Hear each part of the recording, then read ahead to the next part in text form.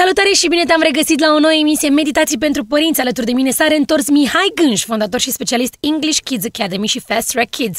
Iar astăzi dezbatem tema inteligența spirituală. Ce frumos, bine ai revenit! Bine v-am regăsit! Te rog frumos, ce înseamnă inteligența spirituală? Toată lumea probabil că o să creadă sau are senzația că are legătură cu divinitatea.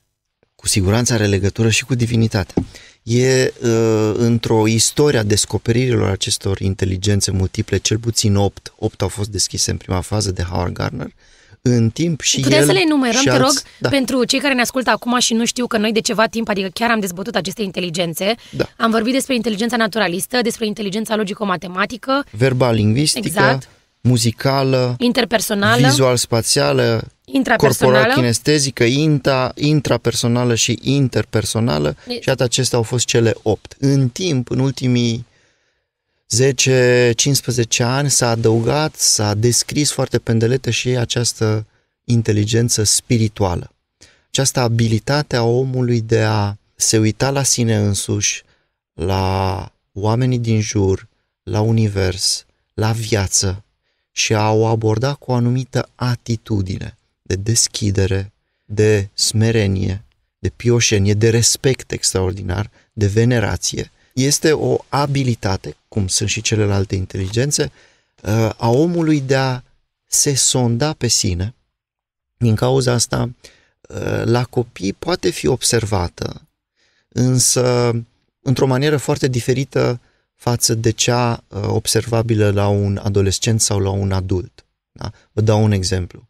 Sunt povestioare extraordinare care au ajuns la noi despre, iată, acest dialog între un copilaj de patru anișori care uh, are un, uh, o întâlnire de taină, de seară cu frățiorul abia născut, avea doar câteva luni și își roagă uh, părinții să iasă puțin din cameră pentru că vrea să întrebe pe frățior ceva.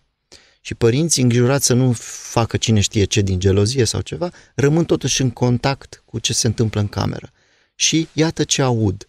Copilașul cel mare, patru anișor, se duce spre frățior și îl întreabă uh, Brian, numele frățiorului, spune-mi, te rog, cum arată Dumnezeu că eu am început să uit? Formidabil Da. formidabil această povestioară care ne spune despre faptul că, iată, ei copiii sunt în contact cu aceste părți ascunse la universului, ale lumii. Unii dintre ei își dau seama că încep să uite și, uite, revin la copilașul mai mic pentru a le pune întrebări. Se pare că uităm la o anumită vârstă și mai târziu, spre preadolescență, adolescență, revin întrebările mari despre lume, despre sine, despre viață, care e rostul meu pe pământ, ce este viața, cine este Dumnezeu și așa mai departe Care sunt normale, nu? da? și care fac parte din, la început, inteligența intrapersonală, după care sunt semne ale inteligenței spirituale. Și încep să descoper și să-mi cultiv atitudini, repet, de, uh, de mirare, de uimire în fața vieții, în fața miracolului vieții.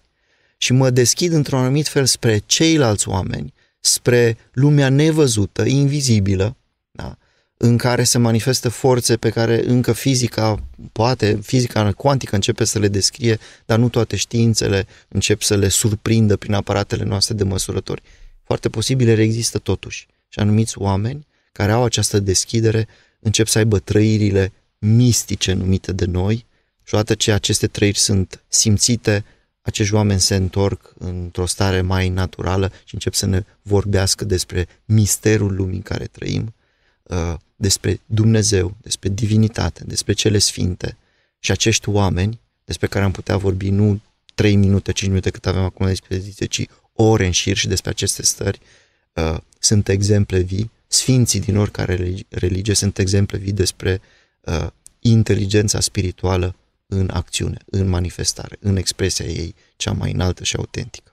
Îți mulțumesc foarte mult, uh, Mihai, pentru această intervenție a ta. Într-adevăr, am fi putut să vorbim ore întregi, din păcate avem doar 5 minute la dispoziție, dar promit, uh, cine știe cum și în ce fel, uh, ne vom reîntâlni și vom dezbate mai pe larg despre această inteligență spirituală. Din punctul tău de vedere și din punctul de vedere al specialiștilor, cam aceasta ar fi cam ultima, nu? Descoperită, adică recent. Ultima descoperită, descrisă, Mhm. uh-huh. pendelete, Și uh, ar trebui punctat uh, faptul că începe să descoperi cam în pragul adolescenței, așa, când ești foarte conștient de sine și de unde vii și Da. care este rostul tău pe pământ și așa mai departe. Da. Marile întrebări. Cine sunt eu?